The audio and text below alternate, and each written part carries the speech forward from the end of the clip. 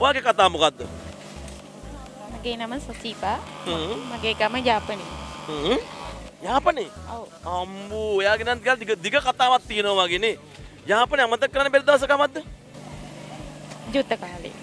අපේ යුද්ධ කාලේ. ඒකෙන් බට බැට කෑවවාද ඒ ඒකේ ඒකේ යුද්ධ කාලේ ඔයාගේ ජීවිතේ වෙනස් වුණාද? නෑ හ්ම්? නෑ. ඒ යුද්ධය අත්දැකීම් තියෙනවද ඔයාට? අපේ අයියලා එම හිටියා. ටික කියමුකෝ බලන්න අයියලා මේකෙන් අවුලා හිටිය අපේ ලොකුව මගේ පුතා නැති වෙලා. හ්ම්.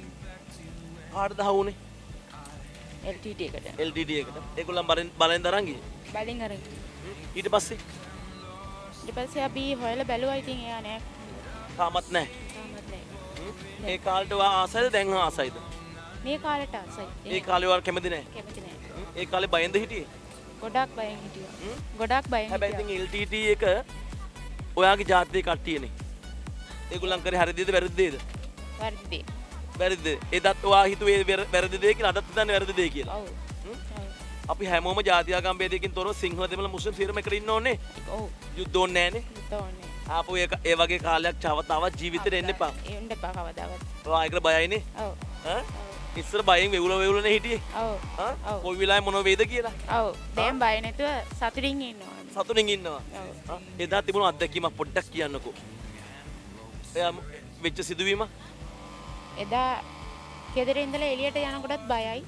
දැන් නම් එහෙම නෑ ඉතින්. දැන් හැමදේම අපිට ඇවිදින්න පුළුවන් යන්න පුළුවන් කාටවත් කතා කරන්න පුළුවන්. එදා කාලේ මේ දැන් ගොඩාක් සතුටින්. එදා ජීවිතේ බේරගන්න තිබුණු ලොකු බයක් නේද? ඔව් විස්තරක් කියමුකෝ පොඩ්ඩක් මෙන්න මේ වගේ දෙයක් වුණා කියලා එක දවසක්. මතක දෙයක් මතක දේවල් තියෙනවද? නෑ නේ මම පොඩි ඔයා පොඩි. එතකොට වයස කීයද? හයක්. අවුරුදු 6ක් ඒ අත්දැකීමට ඒ සුන්දර කාල ළමා කාලේ එහා මෙහා දුවලා ඉන්න පුළුවන් කමක් තිබ්බේ නැහැ නෑ. හැම වෙලාවෙම වෙඩිසද්ද ඔව්. ආ? හොඳයි. මොකද්ද නම ඔයාගේ? සසීබා. කවුද? සසීබා. ශශීබා ඒ අවුරුදු 30ක යුද්ධය ගැන ශශීබා අන්න වච- වචන දෙක තුනක් කිව්වා. ඒ කිව්වේ ඒ යුද්ධයට කැමති නෑ ආස නෑ. එහෙම දේවල් තවත් ජීවිතේට එපා. දැන් තමයි ලස්සනට ජීවත් වෙන්න පුළුවන් කමක් ලැබිලා තියෙන්නේ. දැන් අපි බය නෑ. අපිට ඕන තරක යන්න පුළුවන්. ඒ යුද්ධ නැති නිසා තමයි අපි කොළඹට ආවෙත්. කොළඹ මිනිස්සුන්ට යාපනය යන්න පුළුවන් වෙන්නේ. ඒ යුද්ධ නැති නිසා තමයි.